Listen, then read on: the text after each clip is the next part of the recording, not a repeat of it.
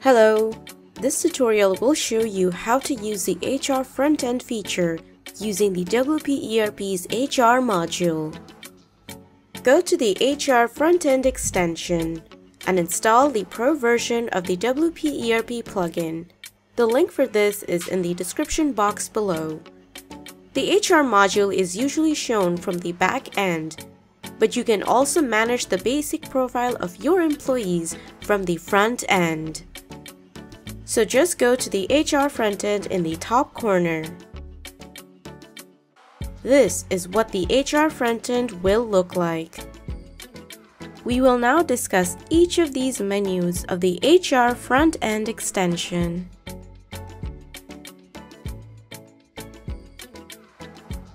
The overview gives you a snapshot of your company's HR profile.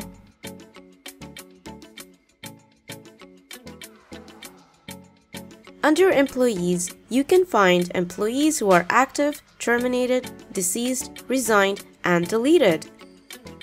You can also filter your employees based on the designation, department, location, and employment type.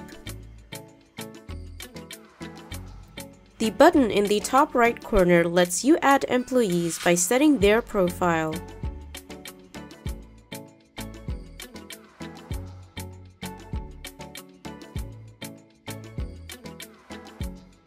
You can also click on an employee's profile to find detailed information on their job, leave, notes, performance, permissions, and documents.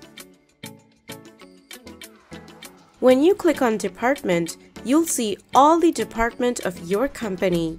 You can also add new departments by setting the department head and the parent department if needed.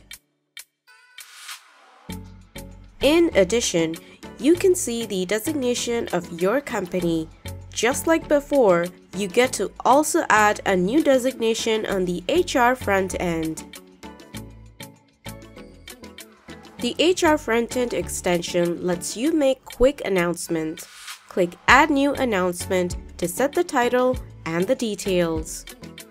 You can be specific on who will receive this announcement.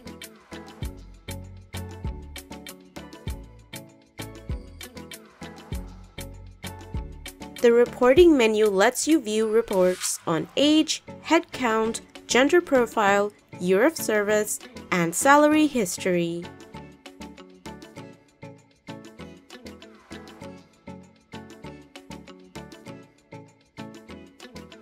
The last option in the menu is Documents. You can create a folder with a name and then click on it to upload a file.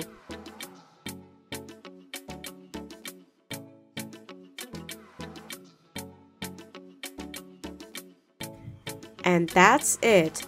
This is how you can use the HR Frontend extension. For more videos on managing your business activities on your WordPress site, be sure to check out WP ERP and subscribe to our channel.